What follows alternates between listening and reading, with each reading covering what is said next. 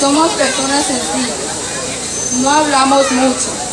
pero tenemos un altísimo concepto de la gratitud. Cuando las cosas se hacen bien,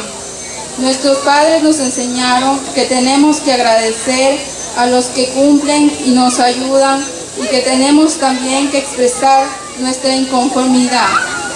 cuando recibimos la desatención o el abandono de parte de quien están en la función pública o cumpliendo otras actividades en representación de la comunidad. Por eso, mis sencillas palabras para decirles que el pueblo del Carmen, los hombres y las mujeres de esta tierra, de esta linda parroquia Piedras, agradece infinitamente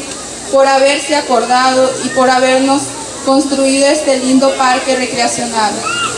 y otras obras más que las estamos inaugurando en estos momentos. Creo que al expresar el agradecimiento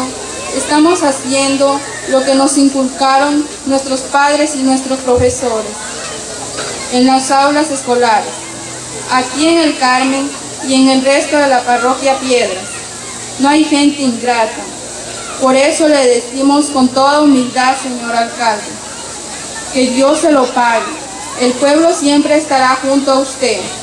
reconociendo lo que ha hecho en acción coordinada con la Junta Parroquial, precedida por nuestro amigo Richard Tapia León. Tenga la seguridad, señor alcalde, que Dios y la Virgen siempre lo ampararán y todo este pueblo le repite con voz de campesino y en representación de todos los agricultores, ganaderos, trabajadores y empresarios, con voz sincera de quienes se ganan el pan de cada día, con el sudor de la frente, que le seguiremos ayudando porque su,